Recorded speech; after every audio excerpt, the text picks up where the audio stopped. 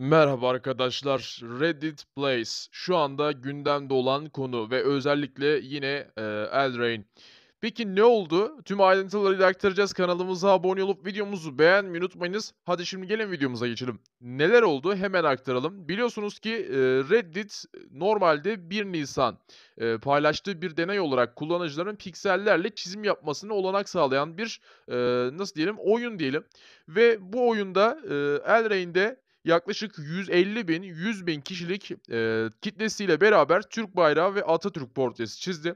Bununla beraber bu Türk bayrağını ve Atatürk portresini e, şu anda silmeye çalışan birçok yayıncı e, çalıştı ancak silemedi. Özellikle şu anda gündemde olan bir konuda Kanadalı yayıncı. Kanadalı yayıncı Türk bayrağını 200 bin kişi yani 200 bin takipçisiyle silmeye çalıştı. Ancak Elrain ise e, 100 bin, 150 bin takipçisi ile direndi ve Türk bayrağını sildirmedi. Bu da şu anda gündemde olan çok ama çok büyük bir konu aslında.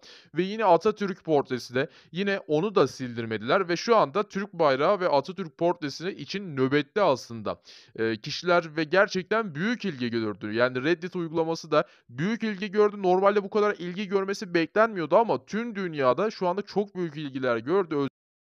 Öz- Özellikle şu anda Türkiye'de gerçekten çok büyük bir ilgi var. Türk bayrağı ve Atatürk portresi için nöbet tutuluyor. Resmen e, herhangi bir sorun yaşanmasın, onlar silinmesin diye. Bu da çok güzel bir şey aslında bir yandan baktığımızda.